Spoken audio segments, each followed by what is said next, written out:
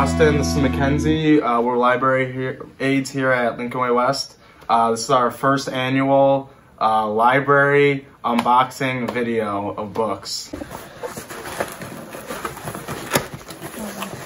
Okay, let's do this, Mackenzie.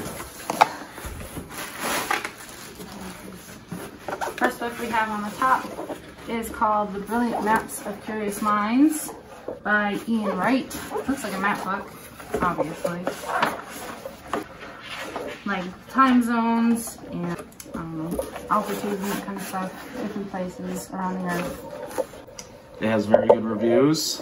Um, if you like Mulan or Disney movies. I wonder if that's coming out because of the new Disney movie that's going to be coming Yeah, out the new. Mulan movie, yeah.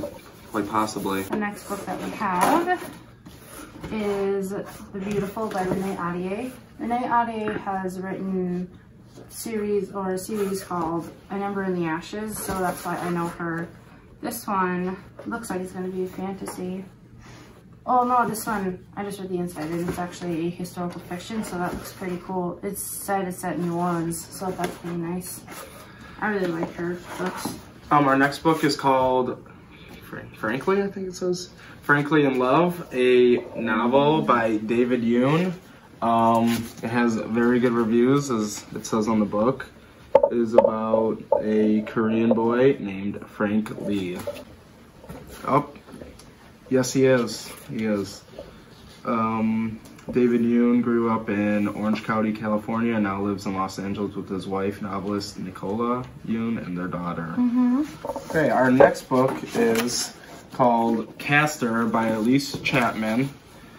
Um, this book looks very mysterious. It's a book about uh, magic, which is illegal where these people are from in St. Willow.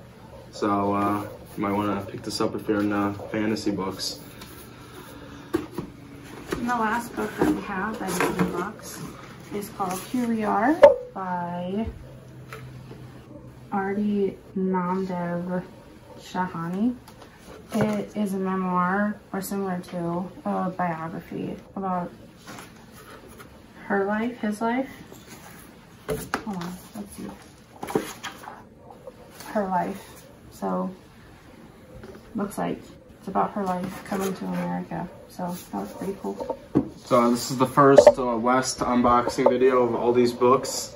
Any of uh, these interested you, uh, stop by the library and uh, pick them up. Uh, they look like very good choices. Uh, once again, this is Mackenzie, and I'm Austin, and have a nice day.